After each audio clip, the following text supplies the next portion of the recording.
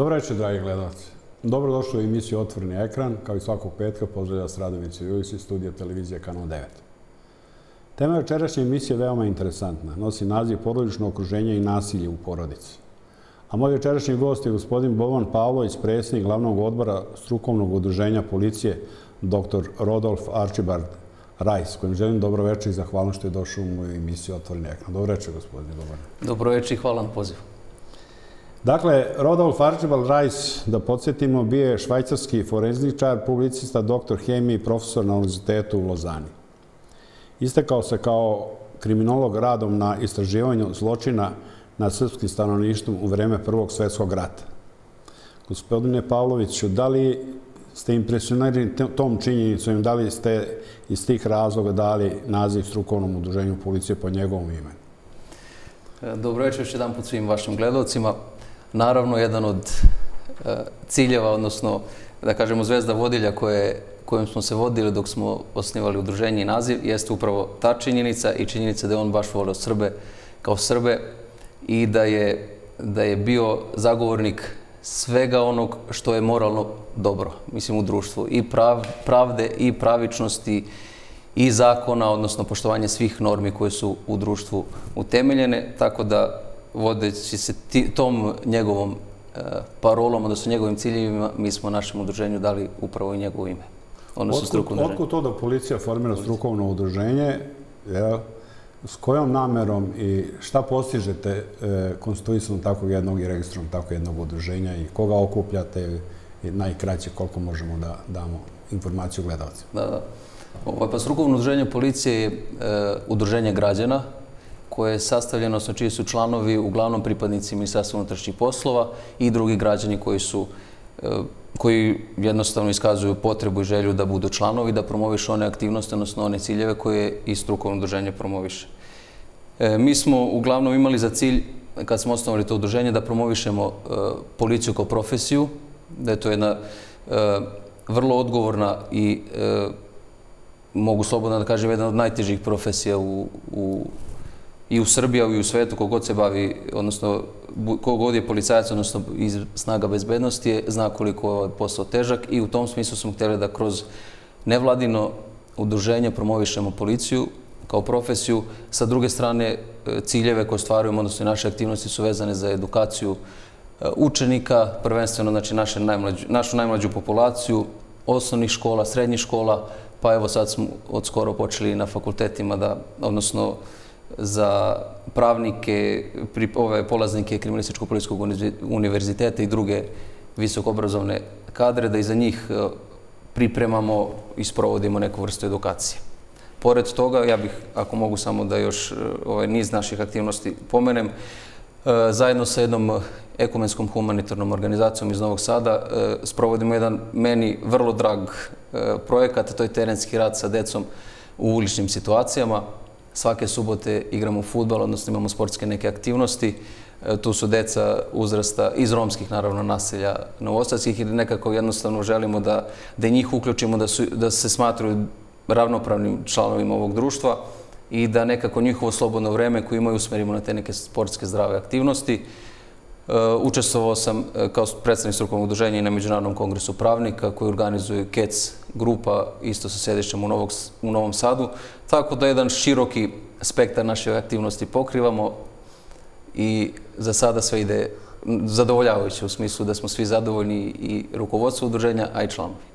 Tako ste povodom Međunarodnog dana uh, porodice 15. maja, sad u maju prošlog mjeseca u Novom Sadu, organizovali e, strukovno udruženje vaše iz Novog Sada i udruženje žrtava nasilja u porodice Hajr iz Beograda. Organizovali ste tribinu o važnosti dobrog porodičnog okruženja i nasilju, nasilju u porodici. Također, večeras mi želimo da podsjetimo da svako od nas zaslužuje da živi u mirnom porodičnom okruženju i da nasilje u porodici treba da bude u potpunosti eliminisano.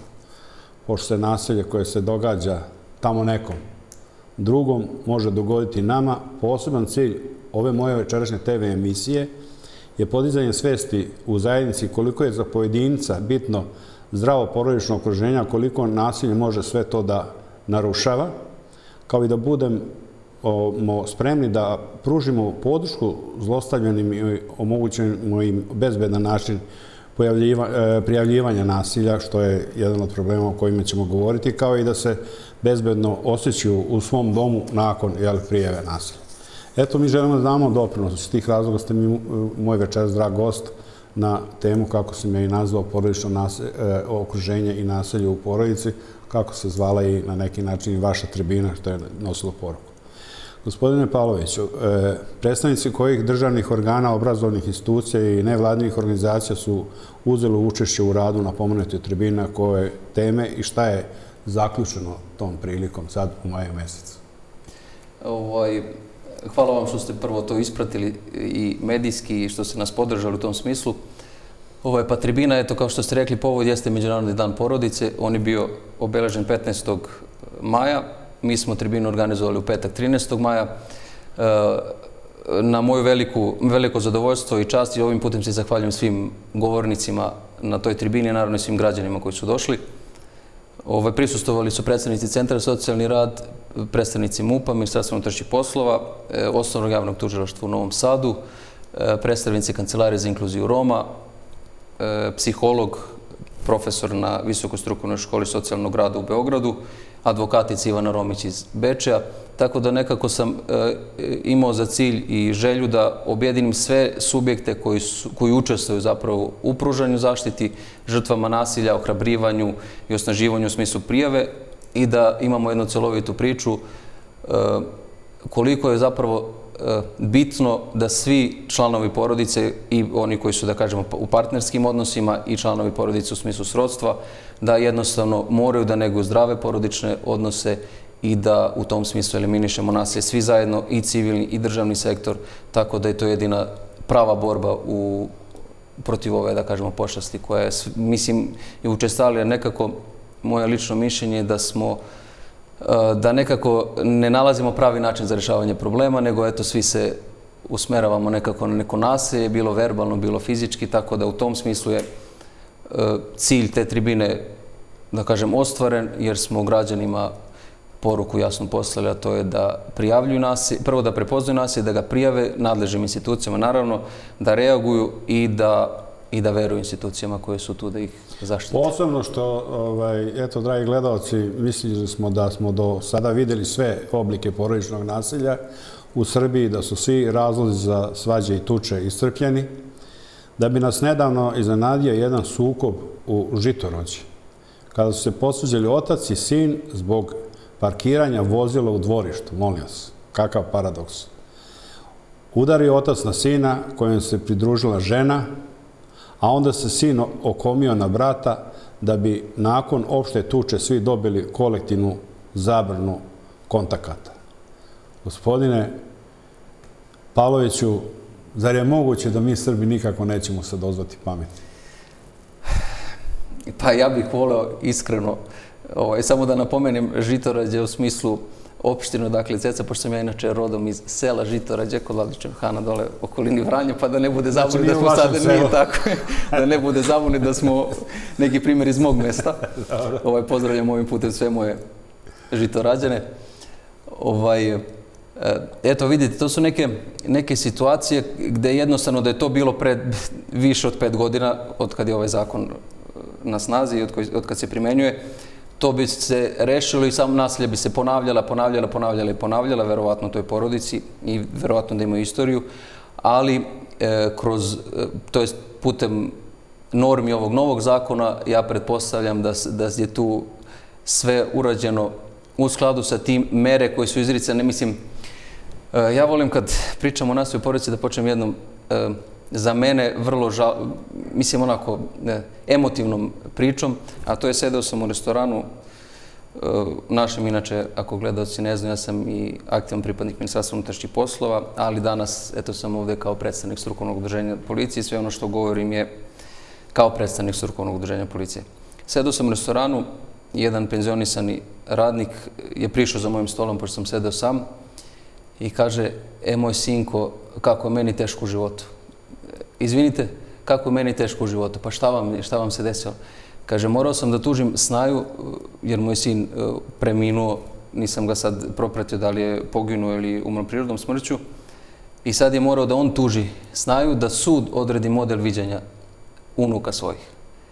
I ja gledam oči mu pune suze i meni je to toliko e, taknulo. Bilo je par dana pre baš ove tribine, tako da mi je to nekako dalo još veću motivaciju da to sve organizujemo, da pričamo, da jednostavno probajte sami da rešavate probleme, problemčiće, ovakve ili onakve. Nemojte da vam institucije rešavaju, jer to je vrlo stresno za sve, posebno za decu.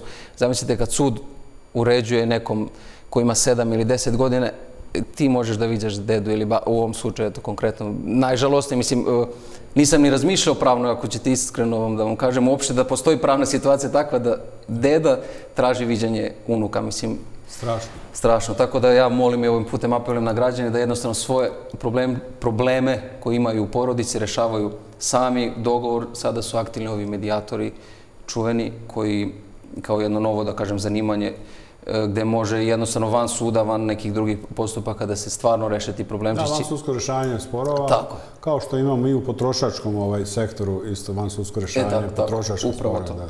Tako da je stvarno te situacije su stresne, stresne za sve članove porodice, posebno za decu. Ali ipak moramo da konstatujemo još jednu činjenicu koja e, ne ide na čast države. Iako je 2020. godine usvojena nacionalna strategija za ostvarivanje prava žrtava i svedoka, nažalost, vlada Srbije uporno odbija da omogući veću dostupnost usluga za žrtve. Namić se pitanje da li onda usvajanje strategije bilo samo deklarativno, a ne suštinsko opredeljenje države da unapradi položaj žrtava. Šta tu učiniti? Vi se pozivate na zakon, jeste, ali ukoliko se po vertikali od gore na dola nije spustio, ovaj, što kažu, i organizuo pravi sistem, teško ćemo rešiti, a ovo večere što činimo, naravno činimo u smislu eh, podizanja svesti građana ovaj, u vezi sa porodičnim okruženjem i nasilju porodice?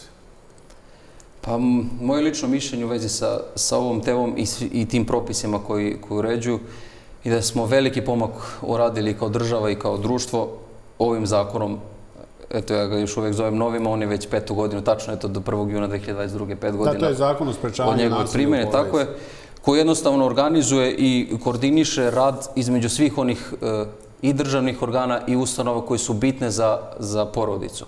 Naravno, vlade organizovali savet za, za sprečavanje nasilja u porodici, imamo i ministarstvo koje se bavi zaštitom porodice, tako da u nekom smislu uvek, znači prostora za napredovanje u svakom segmentu našeg društva i u potrošačkom, kao što ste malo prepomenuli, i u svakom ima. Mislim, tu je neminovna stvar. Ono što je bitno da je sve ono što se u praksi događa i dešava institucijama i ustanovama, da to mora da prati zakonske izmene. Sam zakon kao zakon, e, bilo je raznoraznih e, komentarisanja i u smislu da je loš, da je dobar. Moje mišljenje je da je on dobar, a da ima prostora za izmene i dopune sigurno. Tako da ja se smatram da se svi stručno javno slažu oko toga. I u tom smislu mislim da uvek postoji prostora za e, pravno regulisanje nekih stvari na bolji način. Naravno, to se sve može definisati pod zakonskim aktima, ne može se sve zakonom regulisati, jel? Upravo.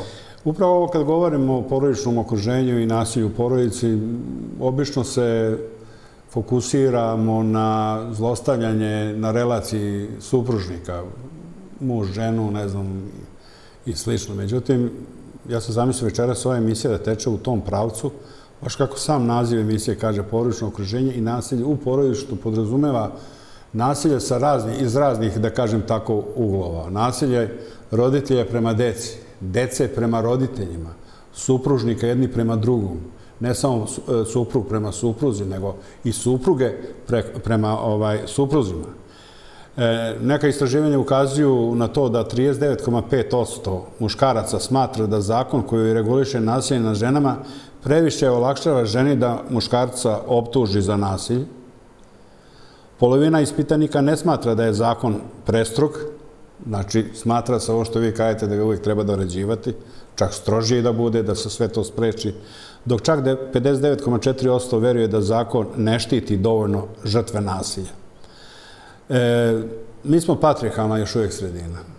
E, puno ljudi poznaje, pogotovo starije dobi koji su zlostavljeni od supruga. E, kakav je vaš tu komentar? E, jednostavno, supružnici neće da prijave, sramote ih i tako dalje, ali osim onih ekstremnih slučajeva što kažu kada su alkoholičari, narkomani i tako i dalje i drugi tipovi sa patološkim stanjem što napadaju svoje supruge bez razloga, ima i ovaj slučaj. Neretko se o tome priča. Malo tu da kažete vaše viđenje, obzirom da e, radite u Ministarstvu unutrašnjih posla, obzirom da ste imali prilike da, što kaže, procesuirate određene ovaj, predmete u vezi sa materijalom.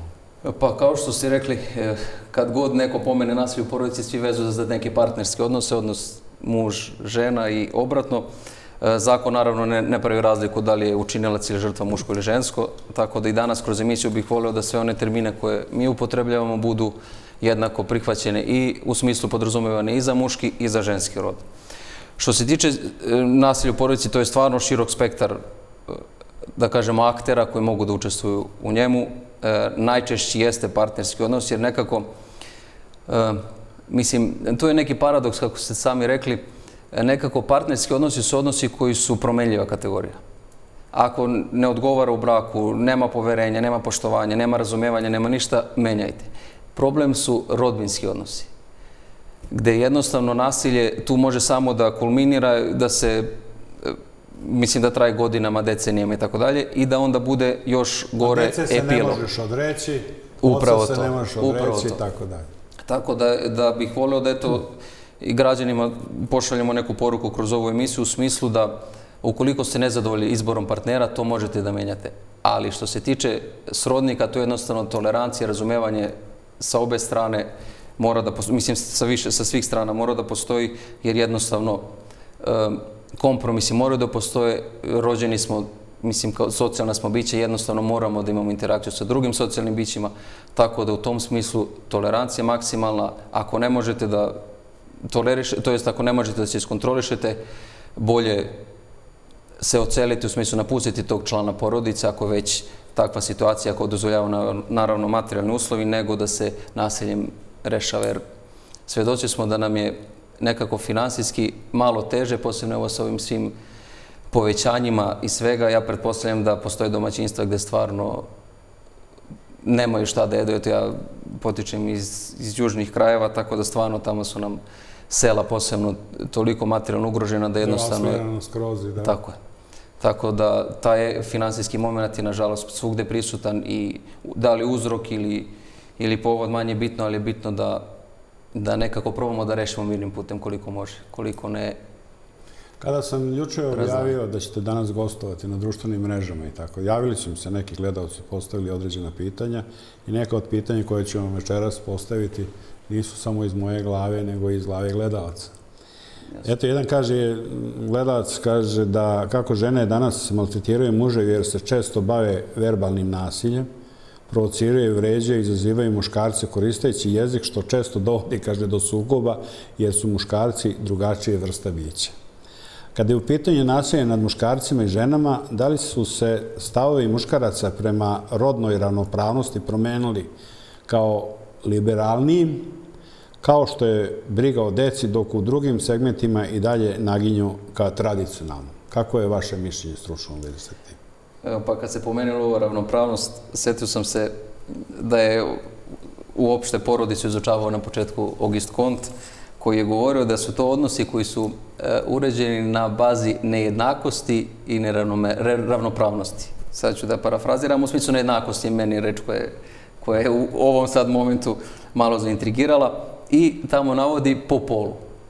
E, sada se sve više teži i mislim mi moramo kao društvo da menjamo naše stavove, naše viđenja u tom smislu, da smo svi rođeni jednaki i da stvarno imamo jednake uslove za i za ispunjenje prava, jednake obaveze, naravno, koje treba da se dele eto, i u partnerskim i u porodičnim odnosima, da više to tradicionalno e, tradicionalno shvatanje tih bračnih, porodičnih, odnosno partnerskih odnosa je bi trebalo zapravo da bude malo i za nas.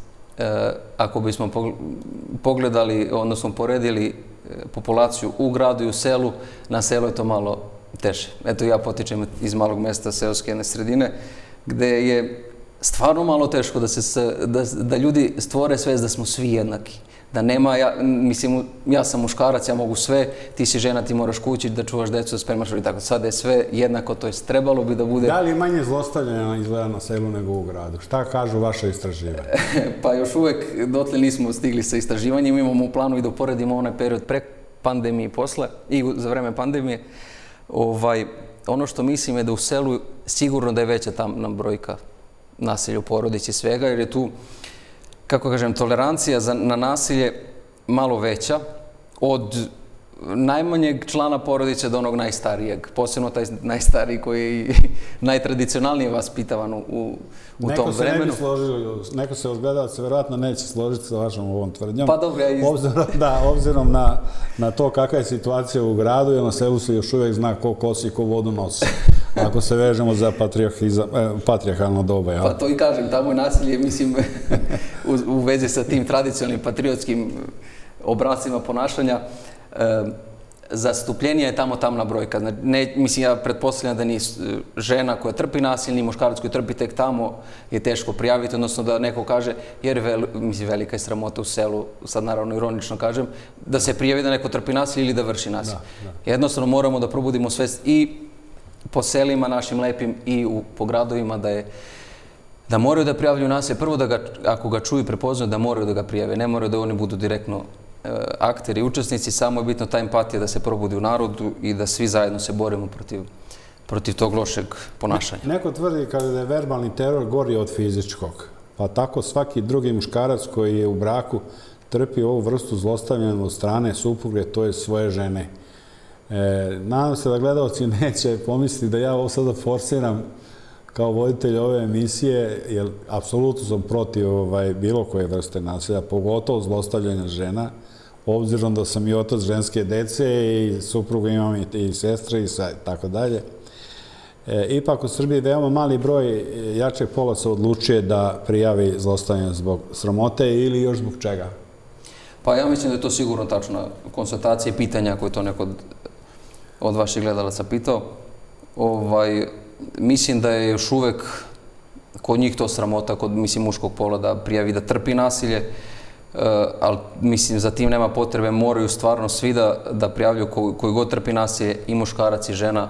E, pa, i kad ste rekli da je psihičko, odnosno verbalno nasilje malo e, teže, i moje lično mišljenje da je svako psihičko nasilje vrlo teško, sve te žrtve preživljavaju to nasilje. Mislim, vrlo teško na, na njihovu psihu i na uopšte ponašanje utiče psihičko nasilje u odnosu na fizičko, kažu ono bol prođe, ali duševno taj nemir, uznemirenje i sve ono što prati psihičko, da to je malo duži, mislim i verovatno trajnije posljedice ostavlja nesumnjivo i da svaki vid nasilja obuhvati to psihičko, odnosno e, emocionalno kako već, da ga nazovemo, ali je bitno da i muškarci su E, žrtve nasilja, čak i fizičkog nasilja, mislim, svedoci smo da postoje i e, što ga ono jači slabi pol, malo jači slabi pol, pa u tom smislu bude i fizičkog nasilja, ali ono što je bitno jeste da to moraju da prijavljuju.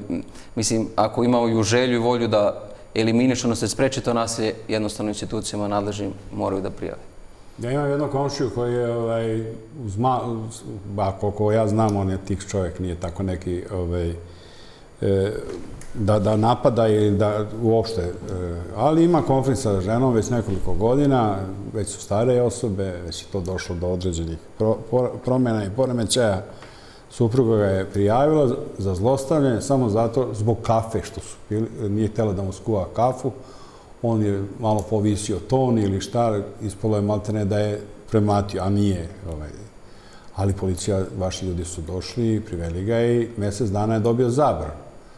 E, kakva je to situacija što se tiče samog tog ovaj, e, postupka od trenutka prijavljivanja, izlaska službenih lica da konstatuju činjenično stanje, procesuiranje tog, da kažem, ovaj, e, slučaja, do Centra za socijalni rad, do ovaj, postupećih sudija. Možete tu malo da pojasnite? Pa što se tiče tog samog postupanja, mislim, ja bi se fokusirao onako opet da napomenem da sam ovde prvenstveno kao predstavnik strukovnog udruženja policije, ovaj, da ta postupanja je zakon o sprečavanju nasilja u porodici dobro uredi u smislu kako prati svaki segment od prijave nasilja do kasnije zaštite žrtava i tog nekog sudskog postupka eventualno ili nekog drugog. Kod prijave nasilja eh, ovaj, dužan je da reaguje, naravno sve institucije, odnosno sve ustanove imaju obučene ljude koji, koji postupaju u tim slučajevima i e, ono što je bitno jeste da je tu e, izraženo načelo hitnosti, što znači da čim se prijavi nasilje moraju svi da reaguju od policijskog službenika u ovom slučaju nadležnog koji procenjuje rizik da li postoji opasnost od nasilja ili ako je već izvršeno nasilje on nadalje procesuiranje u skladu sa krivičnim zakonom i zakonikom u krivičnom postupku pa sve preko osnovnog javnog tužilaštva do Centra socijalni rad koji je jedna od, naj, po mom nekom mišlju, najbitnije ustanova u, u tom celom krugu za lancu do... Tako je. I što se tiče, prvenstveno što se tiče zaštite, pružanja eto, nekih saveta, zbrinjavanje, pa čak i ekonomsko neko osnaživanje svih tih žrtava. E, onda se tom mogućem učinocu, kako ga sam zakon kaže, eto, prvi put tu imamo neki potencijal ubačen u smislu da je nešto moguće ili nemoguće, zakon ga je tako krstio, e, pošto u tom smislu gde policijski službenik procenjuje da li postoji rizik odnosno pasus od nasilja ili ne, on je još uvek mogući. Znači, postoji, to je procenjuje da li postoji opasnost. Izriču se mere u smislu e, akt koji se tu donosi je naređenje i taj, to naređenje važi 48 sati, posle toga se obaveštava tužilaštvo. Tužilaštvo po procene, naravno po svim tim, e, da kažemo, dokazima, odnosno papirima koji su prikupljeni, procenjuje da li je to sve da li ta situacija zahteva tako postupanje, ukoliko proces da bi trebalo još produženje tih hitnih mera, pomenuli se do 30 dana, onda upućuje predlog sudu, gde sudija odlučuje o tome da li će nekom produžiti te hitne mere. Naravno, gledalci ako ne znaju, to su privremene zabrana učinocu da kontaktira žrtvu i prilazio i privremena mera koja je, po mojom mišljenju, teža, odnosno i najteža je udaljenje mogućeg učinoca iz stana, E, tako da u tom smislu je taj neki postupak, naravno to sve, sve vreme Centar socijalni rad prati, odnosno njih, njihovi radnici, tako da oni učestvuju, mislim, kažem, od početka do kraja i naj, po mom mišljenju najbitnija karika, najteže naravno policajcima, mislim, onaj ko prvi interveniše tamo jer e, mislim i lično sam, kažem, učestvovao u tim... Počeo neprijatnosti tako je, tako u konkretnoj situaciji do procedure koje do treba... Do procedure, mislim, situacija je takva, neko plače, neko ne, neko trpi. I ono što sam primetio iz nekih svojih ličnih iskustava i profesionalno, opet se vraćamo na ono da, ne, da za, eh, posebno supružnice zanemaruju decu.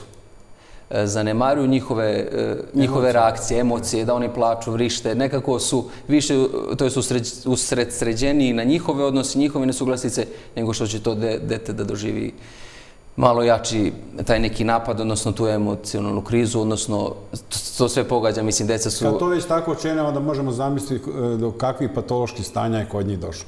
Tako Kad nema empatiju prema rođenoj deci, onda kako mogu jedni prema drugom? Upravo to, upravo to. I iz tog nekog razloga opet, i, i preko ove vaše emisije, hvala vam ovaj, mnogo što ste, što ste me pozvali, i preko svih ovih tribine, organizacija i savjetovališta i stručnih skupova, e, prvenstveno moramo svi da šaljamo te poruke, a to je mislite na vašu decu, onaj ko ima. Kažem, onaj koje nema, opet ako ste u partnerskim odnosima, rešavajte mirnim putem, ukoliko ne, možete da birate promenljive kategorije jedno i drugo, i to je to. Koliko su važni dobri porodični odnosi za normalno funkcionisanje porodice. Kratko samo ono što kažu, svi smo u načelu svesni toga, ali ovaj, zaboravljamo se.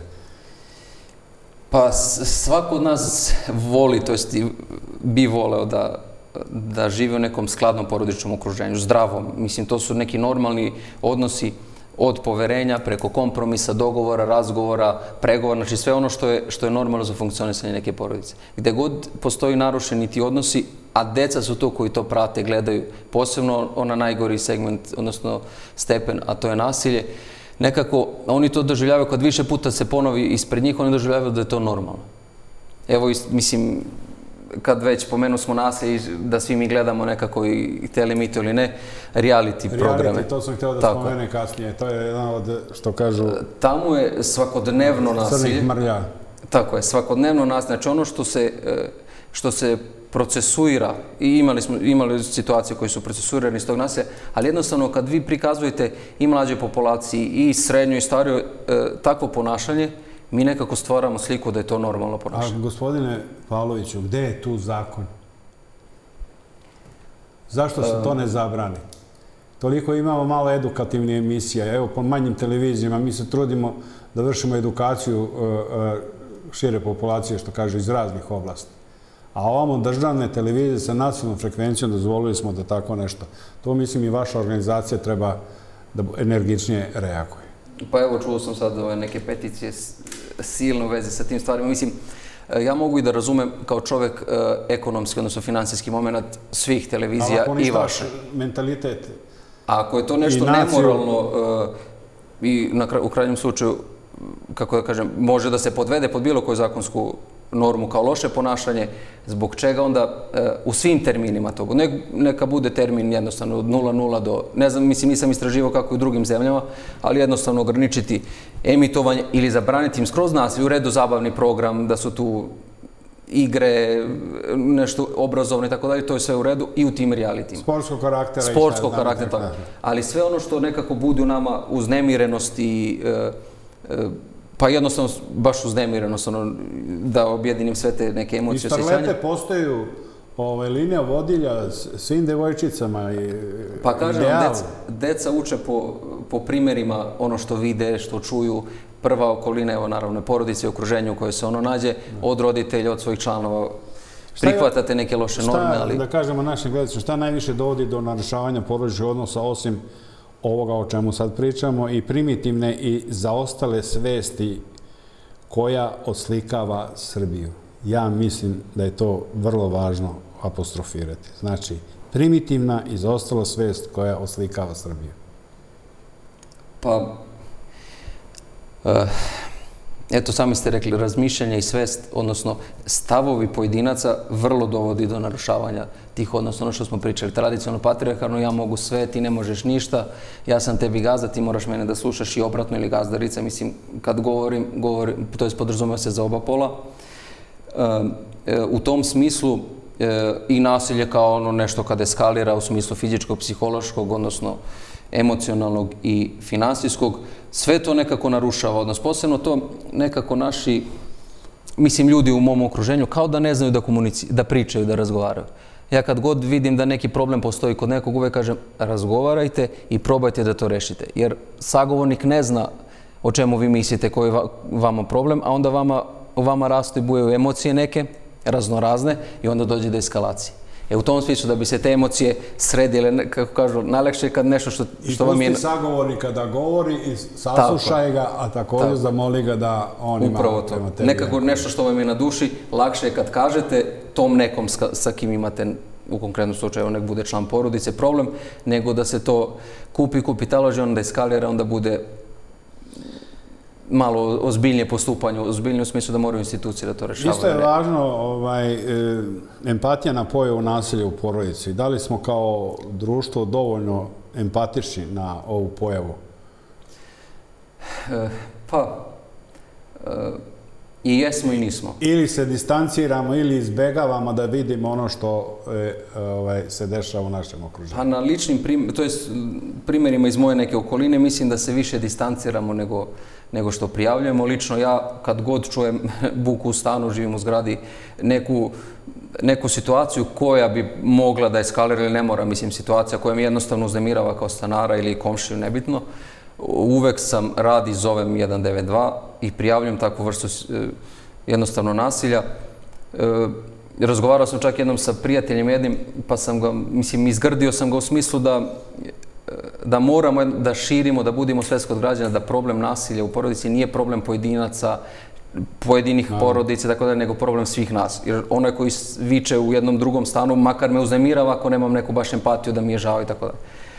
Ovaj, e, on je pričao jednu šalu u, u društvu tako da je neka žena došla na njegova vrata i e, pijana, odnosno pod utjecajem alkohola i žalila se da je muž izbacio iz stana. I on sad priča to kao šalu. Pa dobro, jesi ti pozvao policiju, pitao sam ga, pa ne, pa šta si radio, ništa, otvorio sam vrata, rekao sam da ne mogu da je primim u stan i zatvorio vrat. Samo kad bi se probudila ta moralna odgovornost svih nas pojedinačno, da makar zovnemo instituciju nadležnu, u ovom slučaju 192, da eh, ko zna šta, šta se tada sprečilo kad je došla policija i ko zna da, mislim, ja pretpostavljam da bi svima bilo krivo kad bi sutra čitali novine u tom i tom stanu, u toj ulici ubijena žrtva nasilja, da ne bude ili muškarac ili žena, svejedno. Tako da u tom smislu e, bih volio da evo i građani ovim putem pošaljemo poruku da moraju da probude empatiju u sebi, da moraju svaki vid nasilja, mi ne mora to da bude konkretno porodično, svako nasilje na ulici koje vidimo u kafićima, u autobusima, vozovima, gde god, da jednostavno samo prijavimo i to je od nas dovoljno da država može da... Kako smatrate da možemo ohrabiti žrtve nasilja u porodici da prijavljuju svaki vid nasilja? Pošto se puno njih boje ovaj, to da učinu. Pa boje se... I trpe zbog toga. Kako ih ohrabriti? Opet mislim onaj... I možda ih i večeras ohrabljujemo samim tim što spominjemo i novi zakon, što spominjemo i strategiju, što spominjemo službe, državne jel, tako, organe, koje institucije. I da već jednom kad uđe neko u proces, to se kasnije, naravno, nadam se, prati od strane Centra za socijalni rad. Kažem, centar mora Otvorena je Pandorina kutija, znači da se ne boje da, eto sad to se desilo, pa kad se on vrati ovaj, ili ona, bit će ovaj, e, revanšizma. Tako je, pa u nekim situacijama jednostavno, kažem, opet se vraćamo na, na ono što smo pomenuli, finansijski moment.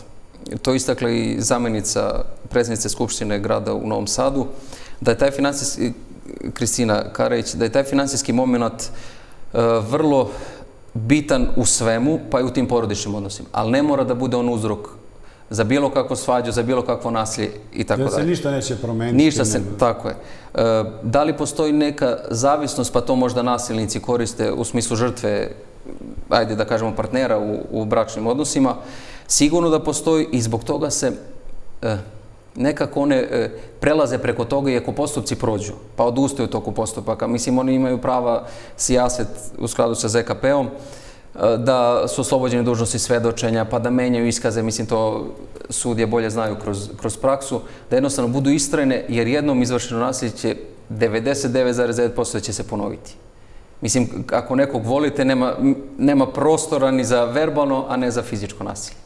Tako da u tom smislu žrtve to da budu istrajni u postupcima, ako su duži ili kraći, jednostavno e, tu je najteže zapravo tim članovima, odnosno učesnicima događa, a onda kasnije institucijama, jer mešate su neku e, stvar koja je vrlo lična, naravno to su isključene na ono načelo javnosti, sve u svim tim postupcima, ali vrlo lična i kažem, mi smo svi ljudi, nismo roboti, da, da u nama bude razne emocije, mislim, i osjećanja. Tako da je svima teško, ali najteže toj žrtvi i drugim članovima porodice. Nekulturno da gledam u sat, ali ja to moram zbog da, praćenja. Ovaj, e, vidite kako brzo vreme leti kad se razgovara oko jednoj ozbiljnoj temi i kada pričam sa kompetentnim gostom. Dakle, e, e, gospodine Pavloviću, nadam se da naši gledalci žele da se uključe da postave pitanja, pa eto ja bih objavio broj telefona, znači, dragi gledalci, izvolite, možete se uključiti u program na telefon 021 522 733. Dakle, pozovite 021 522 733 i postavite pitanje našem uvaženom gostu i dajte na kraju krajeva svoj komentar povodom teme koje smo večeras odabrali.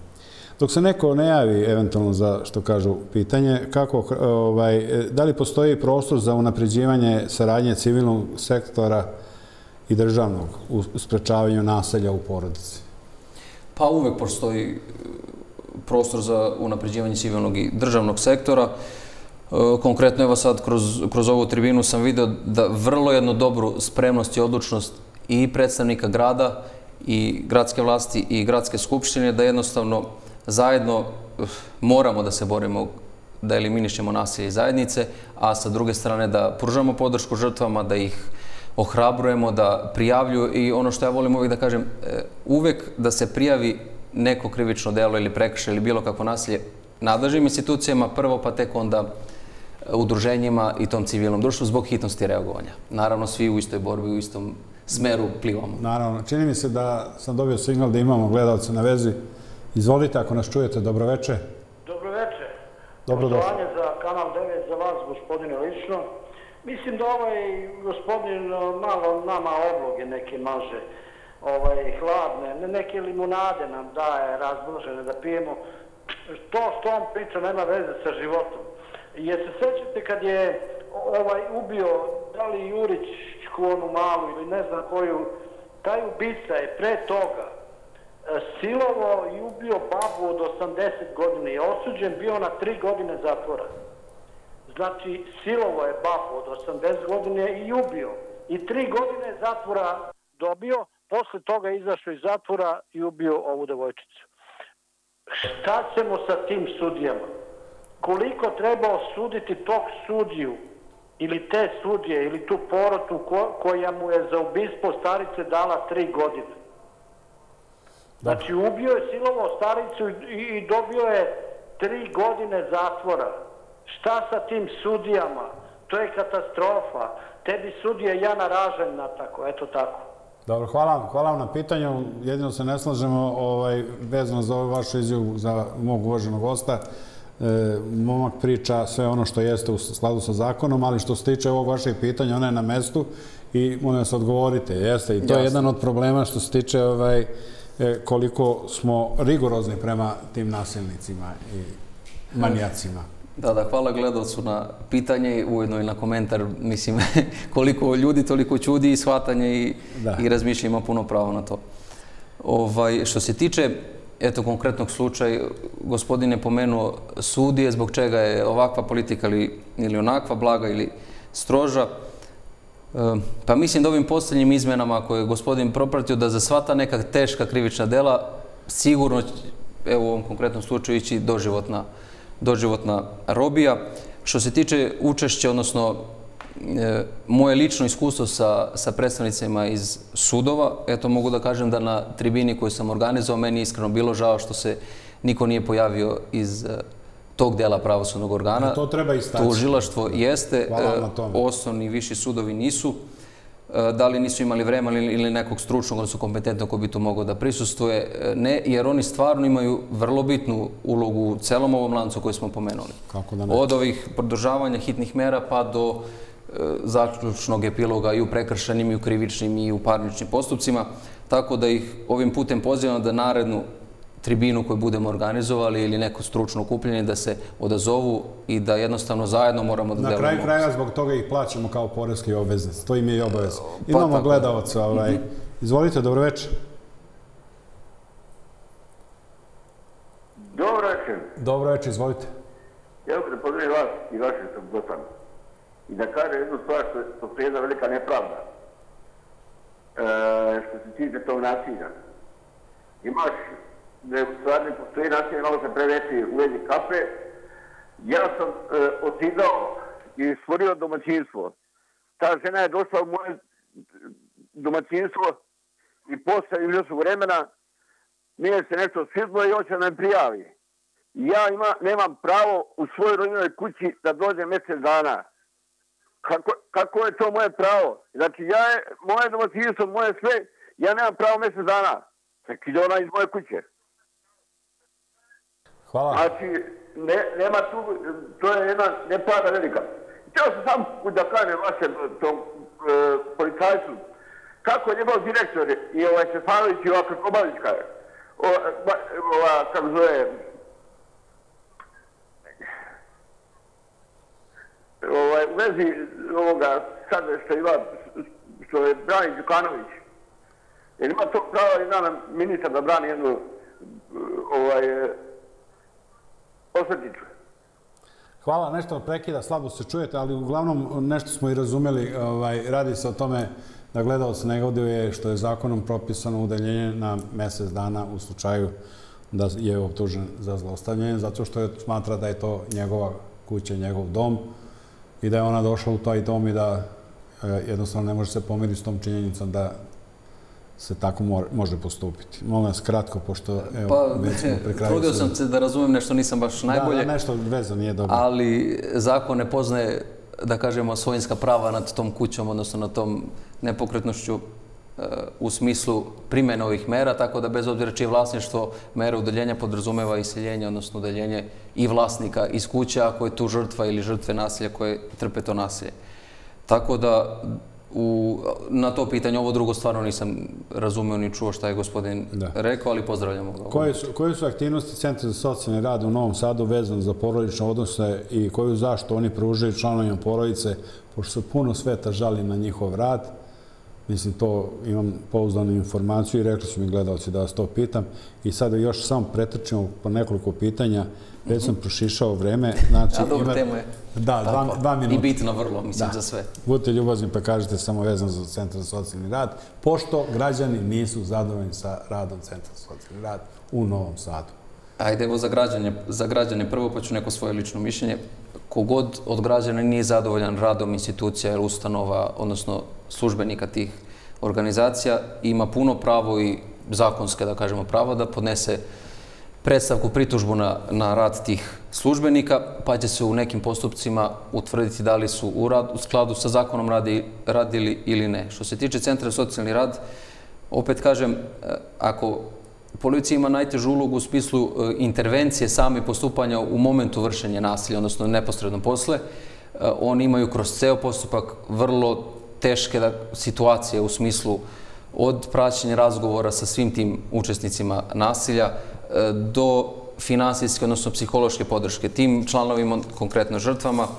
Mislim, širok dijapazon svih, svih aktivnosti koje oni preduzimaju. E, isto postoji sigurno prostor čim se građani žale da, da se nešto preduzima ili ne preduzima od strane centra, ali moje lično iskustvo, a evo, dotaći ću se i profesionalnog, je vrlo dobra saradnja u smislu onih konkretnih nasilja u porodici.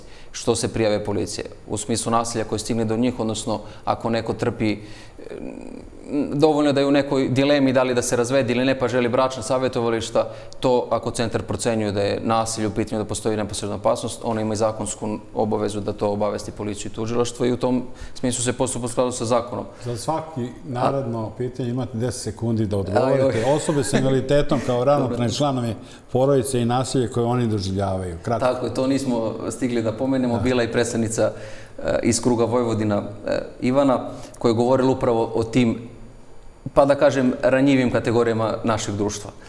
Eh, tu je vrlo teško kad je neko nepokretan, zavisan od nekog drugog člana porodice, pa taj vrši nasilje, u smislu zanemaruje ga, ne želi da mu donese da jede, vrši nasilje. Na koji način ta žrtva nasilja koja je sa invaliditetom može da ga prijavi? U tom smislu, je vrlo teška situacija. Mislim, za mene, onako lično sad kad sam je zamislio, vrlo teška i lično i profesionalno, ali u tom smislu bi moglo nešto da se da se planira u, u smislu promene načina prijave tog nekog koji je vezan za krevet ili neki drugi invaliditet ne mora znači, da bude. Znači, na tome treba da se radi. Tako je, da se radi. Tim, da osmisli i da predloži da se to i normativno reguliše. Tako, državi prepoznaju, mislim, sve vrste žrtve se prepoznaju, ali je bitno da, da naći za prijav. Tako, na specifičnu situaciju. Pravna pomoć klijentima u porodičnom sporovima i iskustvu sa žrtvama naselja u porodici, kratko? E, tu zakon obavezu daje da to mora da bude e, besplatna pravna pomoć i od svih institucija i naravno nevladinog sektora koji je tu zastupljen pruža isto pomoć. Sa aspekta politiske uprave Novog Sada, kako se vrši sprovođenje zakona o sprečavanja naselja u porodici i kakva je podrška žrtvama naselja prilikom prijave i daljeg postupanja, to ste na neki način već ovaj proceduru objasno, ako imate nešto samo kratko da dodate. Pa tako, pa ništa na osnovu onog što je iznela pred e, Daliborka Vojvodić Tomović ispred e, policijskog uprave u Novom Sadu. E, sve je u skladu sa zakonom što je preduzeto od strane policije u slučajima prijeve nasilju porodici je dalje procesuirano u smislu da je obavešeno tužilaštvo ako je potrebno bilo postupanje u skladu sa krivičnim zakonnikom, ZKP-om, da je to odrađeno u skladu sa zakonom i da tu nema. Rekli ste da e, ovaj, saradnja policije i Centra za socijalni rad je na određenom nivou, a koja je uloga tužilaštva u sprečavanju nasilja u porodicu?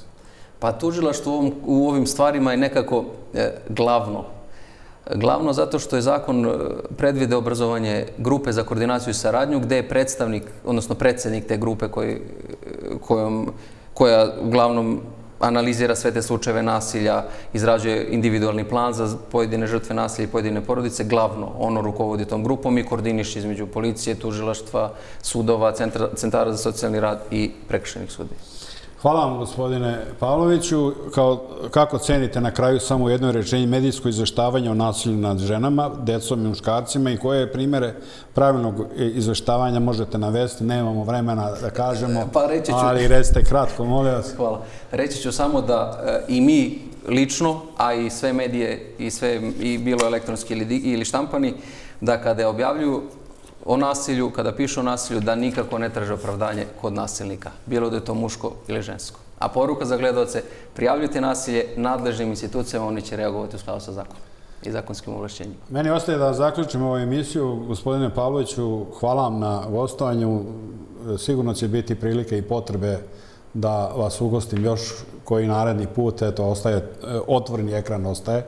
Na televiziji Kanal 9 i za vaše što kaže ovaj gostovanje i vaših kolega. Sad zadovoljstvo ćemo ovaj, tretirati vrlo važne teme poput ove večerašnje porodično okruženje i naselje u porodici. Hvala vam na izdvojenom vremenu, vam, dragi gledalci, hvala na pažnji i da skrenem, da, da samo napomenem da sljedećeg petka neću biti u ovom studiju, ali ćete imati jednu veoma interesantnu emisiju edukativnog karaktera, naravno, ovaj, e, koja je urađena od strane stručnih ljudi putem e, online, što kažu, okruglog stola, Zoom, preko Zoom aplikacije, znači bit će emisija narednog petka na temu trgovina na daljinu i izvan poslovnog prostora.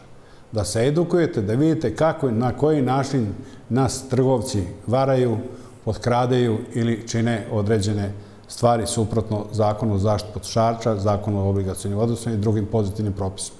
Nemojte propustiti sljedeći petak i emisiju u ovo isto vreme. Hvala vam na pažnji, lako noć i prijatno.